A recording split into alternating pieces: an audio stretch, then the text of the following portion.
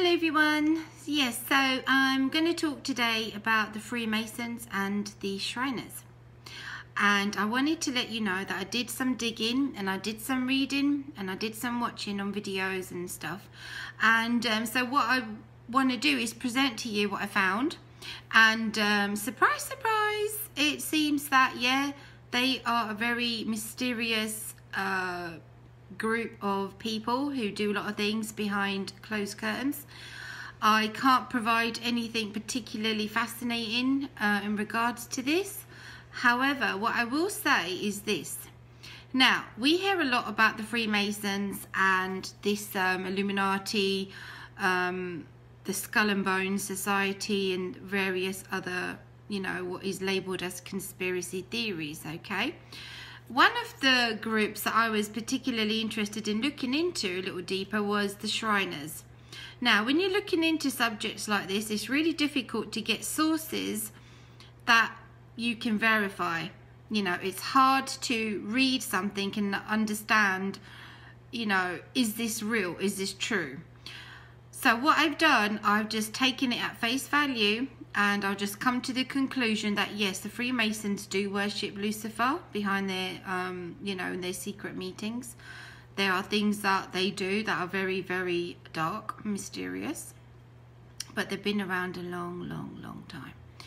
I've been watching various documentaries. I've seen people who have just said, you know, no, there's nothing to worry about, nothing to see here it's just a fraternity. They've been around a long time. Um, it's about the brotherhood, you know. And then I thought, well, you know, there are so many groups like this around the world. There are so many. Um, Muslim Brotherhood is another one that I would consider a cult as well. You know, they were, um, they have meetings, they have secret meetings, they openly um, profess that they want the return of the Khilafat, so they want their, in their perspective, a one world government um, by Islam, of course, the Khilafah. But the Shriners, let's go back to the Shriners. Now, they openly declare what God it is that they worship. They've said it. They've said, let me read something to you. Candidates for induction into the Shriners are greeted by a high priest who says, By the existence of Allah, and the creed of Muhammad. By the legendary sanctity of our tabernacle at Mecca, we greet you. I ain't going to go into the rest of the details because I don't want to be uttering those words, to be honest with you. So there you have it. I mean, what the, what is the deal with the Illuminati, the Freemasons, and the Jewish control, the Zionist control over the world, where you've got the Shriners who are actually a little above the Freemasons. And their allegiance is to Allah and Muhammad and the shrine in Mecca. So if people want to make out that it's the Jewish Zionist, um, you know, conspiracy to for world domination, you see, because they want Jerusalem and they want to govern the world from Jerusalem, you know, the 70 nations within the Sanhedrin, all this oh my goodness i tell you the stuff you find on the internet is it's so draining. That's what i mean it's hard to verify sources. What is what am i reading? Can i verify this? Is this fact? Is it fiction? Is it hearsay? Is it conspiracy? So okay because when it comes down to the freemasons and the shriners every basically every shriner is a mason but not every mason is a shriner you have to achieve the various, you know how it works, the, um, the various steps to the Freemasons, the various degrees, okay? You've got to enter the, one of the highest degrees, whatever, in order to become a Shriner. So it seems to me, from what I'm reading, at face value, that the Shriners are above the Freemasons. So that's another level we're talking about. And that level is giving allegiance to Allah, Mecca, and Muhammad. So, do we therefore say it is in fact the Muslims that are ruling the world because they are at the top of the pyramid, whatever? You see, this, I mean, this whole thing, I wouldn't give much mind to it, but if it is the way I'm saying it is, then, you know, Lord Jesus, have mercy, you know. What should our response be to conspiracies or dark um, secret societies? Like, what should our response be? What is it that we can do to change anything? We can't change anything, you guys. It's just the way it is. I've looked into so many of these reports online about, you know, oh, and most some of these channels, all they do is talk about the blinking Freemasons, the Zionist control over the world. They've got every president in their pocket and whatever. It's draining. I mean, I've spent well, how many days on this topic, and I just felt so spent. I was desperate for the Word of God because that's my life source. You know, Jesus Christ and fellowship with Him yesterday I did a video on this topic and I was going to upload it and I just deleted it because I was so like miserable I wasn't you know I just did not feel the presence of the Holy Spirit so I've regained my composure and I would like to give a response and I'm going to turn to the Word of God in the Bible you see the thing is people people assume that this if you like, all right, how to put this, please stay with me, all right? People assume this cult, whatever it is, secret society, well, it ain't very much of a secret, is it? Most of their stuff is out there, so how is it a secret? They do secret things, but it's not a secret. I mean, presidents are involved, nations and leaders and you know, musicians, artists, all sorts of people are involved in this blinking cult cult thing. The thing is, what do we do with it? What can our response be? These people who worry and they call themselves Christians are so worried about the blinking Zionist control over the world. Like God is not aware, like He has no clue, He's a step behind, and these people are a step ahead. No, where's your faith? Jesus Christ is the Alpha and the Omega, the beginning and the end, the first and the last. He knows everything. Why do you think when he returns to set up his kingdom, he's going to come with great wrath? He's going to be angry. Is it any wonder why? All this wickedness that's going on within these secret societies. There's no, is it any wonder why Jesus is so angry when he returns? So we put our faith in the fact that on that day, vengeance will be carried out, real justice will be done. I suspect that this paedophilia ring that's going on at the moment around the world, it's all a part of these. I mean, they're in charge of it, you know. They have to be. There's something really sinister about it. I'm not denying that he ain't sinister. Of course it is. You know, they blatantly worshipping Lucifer because they think he's a god. It's ridiculous, isn't it? The light bearer, they call him. You know, that's abominable. Jesus was tempted by Satan, remember, with the very three things that he mentions in the book of James, I think it is. Is it in James? Um, I wrote it down here. The pride of life, the lust of the eyes, and the lust of the flesh this Lucifer being um, offers these very things to those people who would be enticed to say, yeah, I want, I want all three of those things. He offers them the pride of life, the lust of the eyes, the lust of the flesh. He gives them whatever it is they desire. So these people who are in the cult, they know what they're doing. They have denied the um, the lordship of Jesus Christ blatantly. I don't care if they've got the Bible in their on their altar. Ultimately, they, you see, the Shriners they elevate the Quran. You see, that's the book for them. Mystery Babylon. She's the mother of harlots, you see, the mother of harlots. You know, like we say, you know, the mothership you know, the mother of all wars, the mother of, you know, it's like figuratively speaking. So whatever this mystery Babylon is, is you know, these guys are in there as well. Definitely. Absolutely. The world is full of wickedness. You can almost hear the cries of the innocents just screaming out. what are we going to do? What are we going to do about this? You know, God will judge all these nations. He's going to judge all these nations.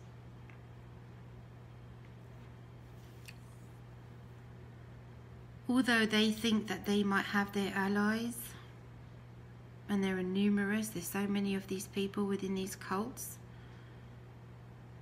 they're practicing deceit, wickedness, in darkness, and God will not be, He's wiser. He alone declares the end from the beginning. When you look at the Shriners and what they wear, you know, the hat, the long, is quite long, isn't it? And they wear it. They have the crescent moon, the sword, the star. They've got this dude on there called like a pharaoh.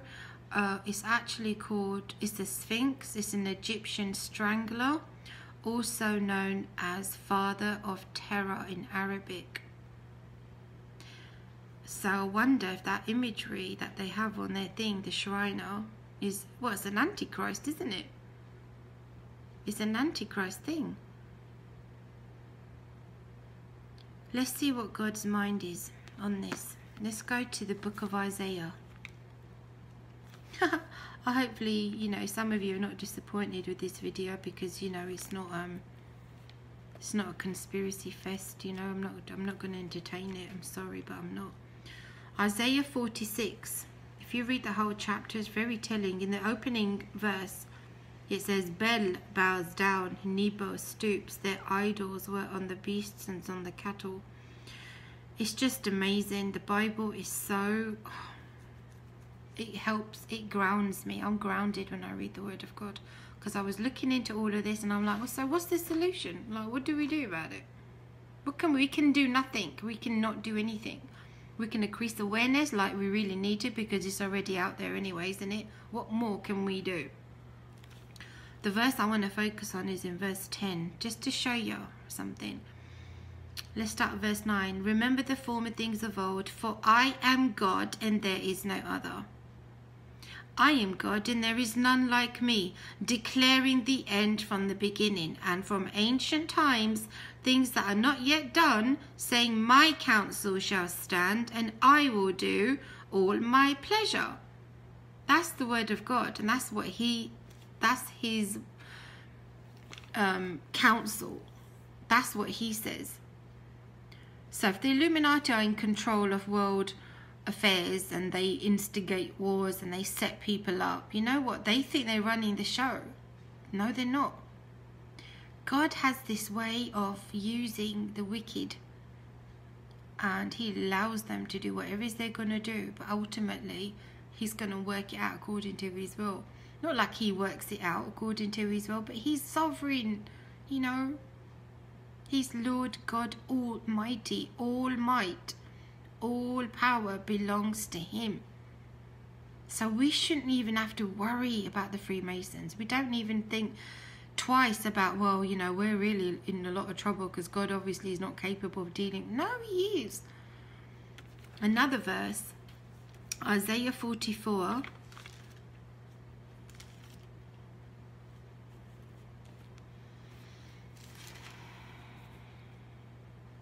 Verse 24.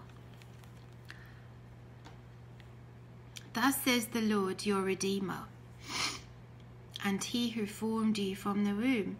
I am the Lord who makes all things, he makes all things. Who stretches out the heavens all alone, who spreads abroad the earth by myself. He did it all by himself. Verse 25, listen to this. Who frustrates the signs of the babblers and drives diviners mad. Who turns wise men backward and makes their knowledge foolishness. These people think they're enlightened, right? They're illuminated. Oh, my Lord Jesus. I believe what they do when they get inside these secret chambers and when they do their rituals and stuff um, in honor of, of Lucifer, they think they're receiving enlightenment, illumination, wisdom from Lucifer, right? The light bearer, apparently. God says He's going to frustrate the signs of the babblers and he will drive the diviners mad. He turns their wise men backwards and makes their knowledge foolishness. Amazing. Isaiah 45. Let's go to verse 16. Listen to this. They shall be ashamed and also disgraced, all of them. They shall go in confusion together who are makers of idols. But Israel shall be saved by the Lord with an everlasting salvation. Oh, so amazing. Let's continue. In verse 21 Tell and bring forth your case. Yes, let them take counsel together. Who has declared this from ancient time? Who has told it from that time? Have not I the Lord, and there is no other God beside me? A just God and a Saviour, there is none besides me. Look to me and be saved, all you ends of the earth, for I am God and there is no other. I have sworn by myself, the word has gone out of my mouth in righteousness and shall not return, that to me every knee shall bow, every tongue shall take an oath.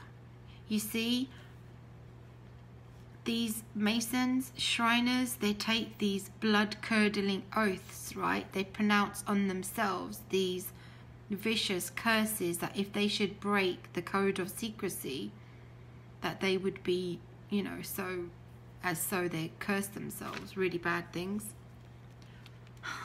But the Lord God says, Every tongue shall take an oath and shall say, Surely in the Lord I have righteousness and strength, and to him all men shall come, and all shall be ashamed who are incensed against him. That's amazing. In the Lord all the descendants of Israel shall be justified and glory. I ain't finished, I got another one. Verse 46. Did I read that already? Yes, I did. Psalm 2. Let's go to Psalm 2. This is how us believers should be when it comes to conspiracy theories. We can read all the stuff we want on them, do all the watching on YouTube of all these expose videos, and then sit there and say, all right, so what can I do about it? What can I actually do? we are aware. Okay, and then what was next? Psalm 2. Psalm 2 is glorious scripture. What I like to do is when I'm, you know, thinking on these things, I meditate on the Word of God and I'm pro proclaiming His sovereignty over the world, over the nations, over the earth. This is a spiritual battle so we respond spiritually. Why do the nations rage and the people plot a vain thing? The kings of the earth set themselves and the rulers take counsel together. Isn't that what they do?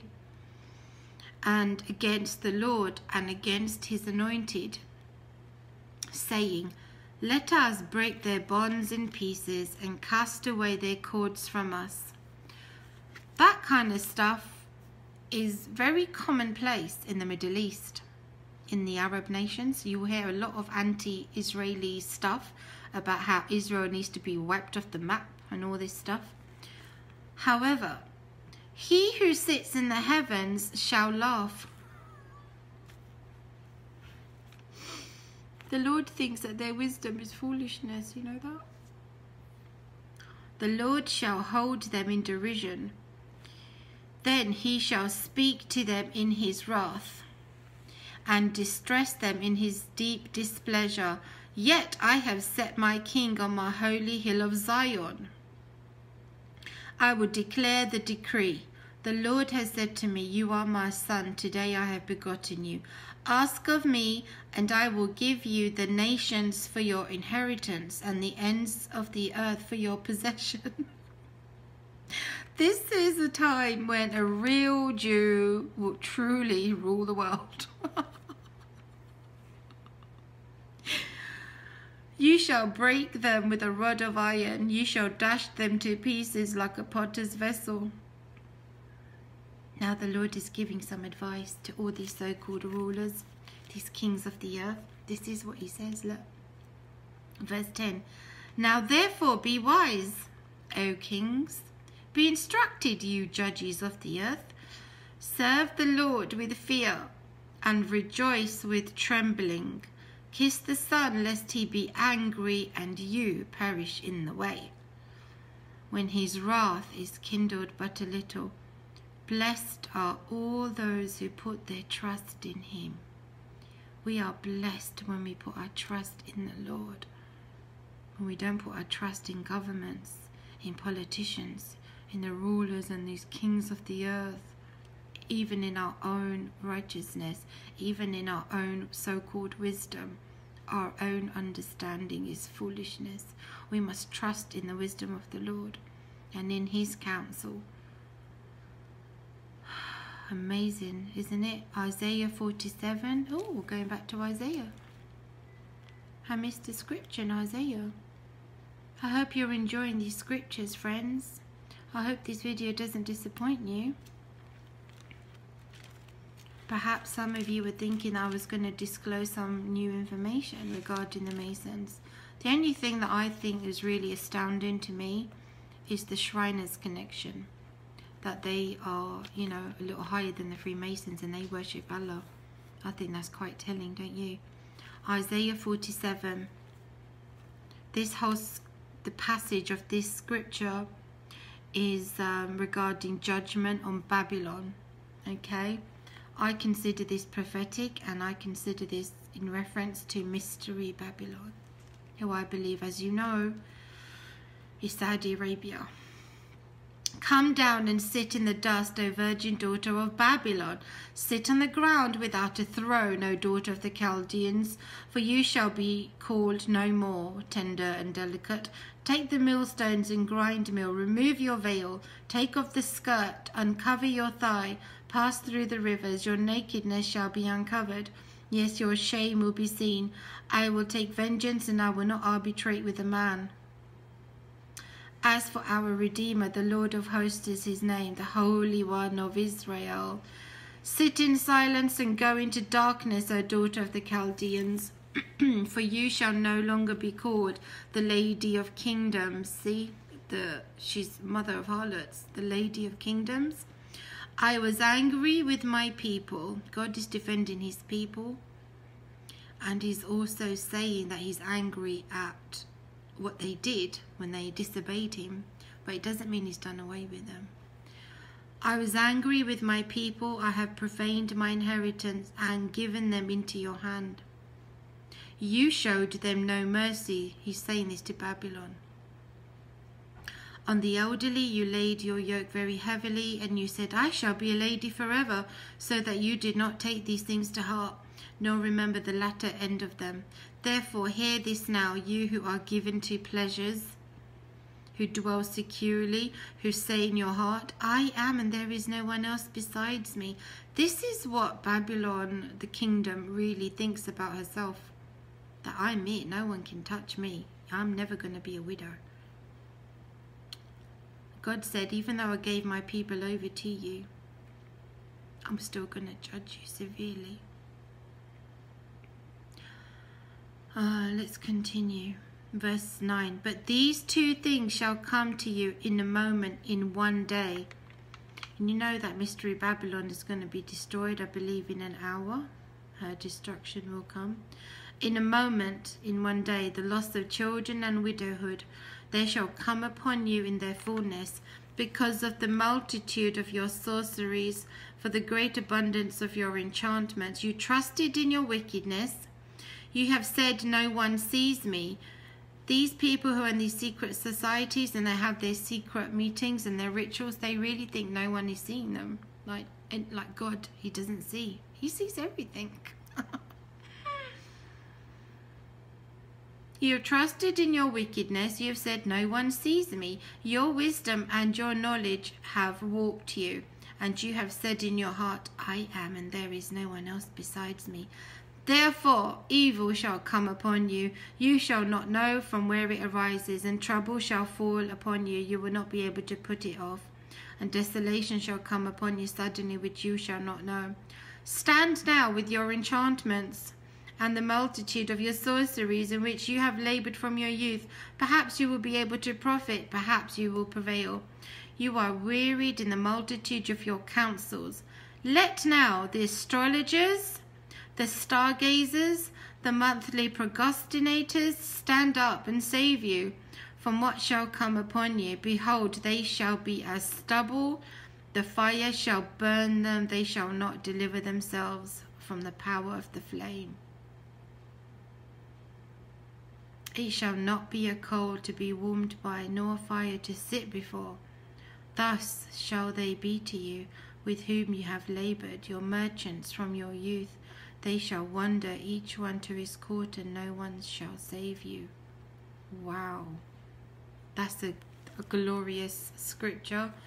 And I would also say, that when we look at these conspiracy theories, we take it to the Father. We say, Lord Jesus, you know what's going on.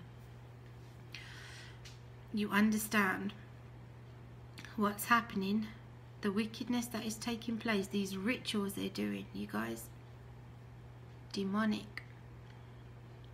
And um, you know what? We continue serving the Lord. You know, we can't get caught up in this stuff and just stay there oh, let's expose this, let's expose it, let's expose this. No, we've got to, you know. I hope this makes sense to you all, I really do. I don't know. Tell me what you think. Okay, thank you. Thank you for listening. And Jesus Christ needs to be um, honored and glorified. When we look at this stuff, we need to go back to Jesus in the um, the Gospel of Matthew, I was just about to end, but I just thought of another scripture. In the Gospel of Matthew, in the beginning, the Sermon on the Mount, meditate on scriptures like this, you guys, because our hearts can be hardened when we see the wickedness that is going out there in the world. Our hearts can be our hearts can be hardened. Jesus said in verse 3, Matthew chapter 5. Blessed are the poor in spirit, for theirs is the kingdom of heaven. We desire to be in that kingdom, but there are requirements. Blessed are those who mourn, for they shall be comforted. Blessed are the meek, for they shall inherit the earth. We will inherit the earth. But there are requirements. Blessed are those who hunger and thirst for righteousness, for they shall be filled. Blessed are the merciful, for they shall obtain mercy. Blessed are the pure in heart, for they shall see God. I pray that a lot, you know, and ask the Lord, help my, cleanse my heart. Let it be innocent like a child for they shall see God. Blessed are the peacemakers, for they shall be called sons of God. Blessed are those who are persecuted for righteousness' sake, for theirs is the kingdom of heaven.